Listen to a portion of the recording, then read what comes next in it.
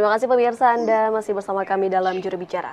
Pemirsa pemerintah Republik Indonesia tengah mengajukan proposal ataupun guideline ini untuk penyusunan pedoman melawan berita palsu ataupun disinformasi dan telah berdiskusi dengan antar negara ASEAN. Kita masih membahasnya bersama dengan Dirjen IKP Kemenkominfo, Bapak Usman Kansong. Pak Dirjen, eh, sejauh eh, Bapak melihat berita hoax politik ini kiranya bisa berdampak parah seperti apa Pak untuk baik demokrasi ataupun ekonomi dan juga eh, yang terpenting keamanan negara ini Pak, seperti apa dampak negatif yang ditimbulkan?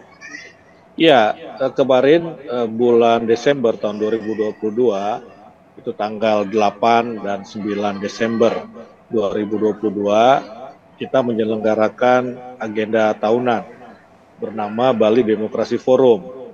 Saya hadir di situ dan salah satu eh, kesimpulan yang terungkap dalam Bali Demokrasi Forum tersebut dan ini saya kira disepakati oleh uh, para peserta dari berbagai negara bahwa uh, demokrasi di banyak negara itu mengalami stagnasi artinya jalan di tempat atau kemunduran ya kemunduran dan ini bukan hanya terjadi di negara-negara uh, yang uh, termasuk di negara yang demokrasinya dianggap sudah mapan, misalnya Amerika begitu. Dan penyebab stagnasi atau regresi demokrasi ini adalah disinformasi politik di media sosial. Nah, artinya dampak disinformasi ini luar biasa. Dia menyebabkan kemunduran demokrasi, ya, kemunduran demokrasi. Kemudian eh, secara politik yang lebih parah lagi, ya kemunduran demokrasi ini salah satu indikatornya adalah terjadinya polarisasi di masyarakat.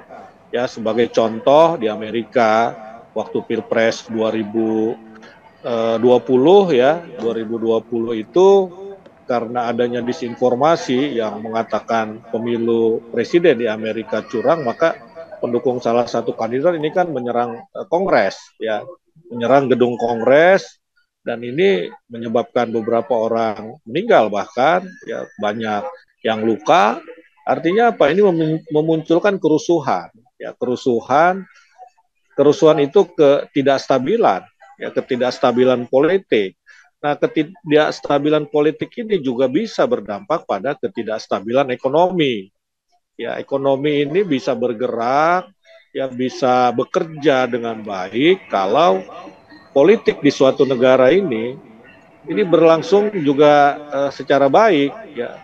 Kalau politiknya ini tidak stabil maka bisa memunculkan instabilitas ekonomi begitu. Nah karena itu kenapa bagi kita penting? Ya penting untuk memerangi disinformasi terutama disinformasi politik untuk mencegah polarisasi untuk menjaga demokrasi kita.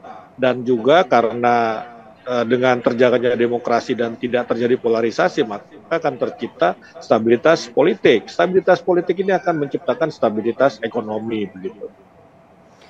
Baik, sehingga ini penting untuk memerangi disinformasi, kemudian juga informasi hoax ini di tengah masyarakat ini penting untuk uh, segera kita perangi dan istilahnya dapat disaring sebelum sharing begitu ya Pak. Dan juga bisa dibayangkan bahwa memang ini uh, jika informasi uh, yang disinformasi ini terus beredar di tengah masyarakat ini dapat menimbulkan uh, tidak hanya ekonomi namun juga berdampak pada uh, demokrasi di tengah masyarakat. Kemudian Pak Dirjen, kalau dari uh, Indonesia sendiri, pemerintah Indonesia terutama Kominfo ini kan telah memiliki undang Undang-Undang ITE begitu Pak yang mengatur soal head speech, kemudian juga soal hoax dan kita juga memiliki uh, aturan PSE dalam lingkup private begitu Pak untuk segera dapat membantu menurunkan berita hoax. Lantas sebenarnya apa yang dihadapi oleh pemerintah Indonesia sehingga tetap uh, masih ada penyebaran hoax di tengah masyarakat ini Pak?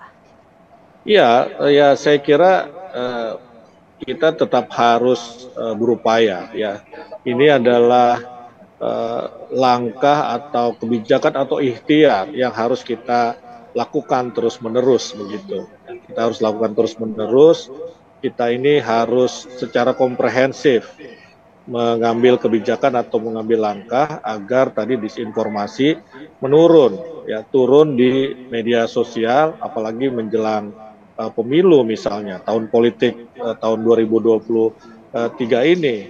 Nah, Eh, pemerintah atau khususnya Kominfo ini kan punya uh, berbagai langkah ya untuk memerangi uh, disinformasi. Ya langkah di hulu ya atau di uh, apa namanya uh, di hulu itu di awal ya sifatnya ini mencegah ya mencegah kita uh, melakukan yang kita sebut gerakan nasional literasi digital. Ya ini adalah langkah yang sifatnya preventif edukatif. Kita mengedukasi masyarakat untuk menggunakan ruang digital ini untuk kebaikan ya untuk berbicara yang baik, untuk konten-konten, untuk memproduksi konten-konten dan menyebarkan konten-konten yang positif, produktif, demokratis, kritis, begitu, dan optimistis. Jangan mengisi ruang media sosial dengan uh, hoax, dengan disinformasi. Itu kita edukasi. Kemudian di midstream atau di tengah kita uh, melakukan mekanisme yang kita sebut mekanisme korektif. Ya dalam hal ini kita melakukan take down ya take down konten-konten negatif, konten-konten yang bersifat disinformatif dan juga melakukan kontra narasi.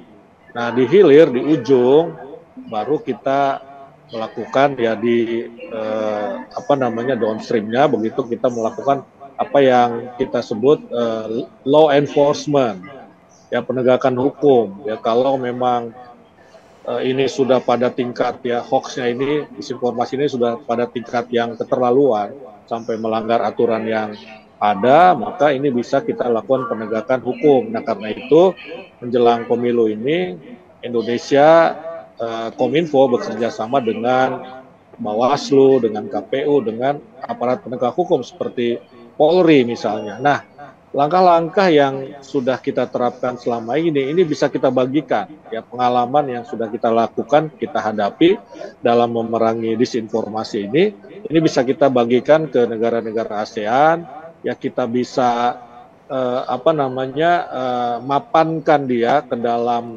guidelines ya ke dalam panduan yang bisa diterapkan di negara-negara negara-negara uh, Asia Tenggara begitu. Nah, saya kira uh, justru itu ya kita malah akan memperluas penerapan kebijakan memerangi disinformasi yang dilakukan Indonesia di negara-negara ASEAN tentu saja dengan modifikasi ya ada penambahan, ada penyesuaian-penyesuaian dengan kondisi di negara masing-masing. Tentu di negara satu negara ini bisa saja berbeda hukumnya dalam uh, ruang digital dengan negara lain ya. Itu kita hormati ya, tetapi mungkin ada panduan yang bisa kita gunakan secara bersama-sama begitu. Ya, penanganan hoax juga memerlukan kolaborasi dari berbagai pihak, baik dari pemerintah maupun dari platform digital, dan pemerintah ini berperan uh, dalam regulasi dan pengawasan tentunya. Dalam hal ini uh, yang telah dibawa, uh, isu ini yang telah dibawa ke ASEAN ini agar dapat menjadi acuan bagi negara ASEAN begitu dalam mengembangkan tentunya panduan ataupun strategi penanganan hoax di negara masing-masing begitu Pak Dirjen. Kita harus ya. jeda terlebih dahulu Pak Dirjen, sesaat lagi pemirsa juru bicara akan segera kembali. Thank you.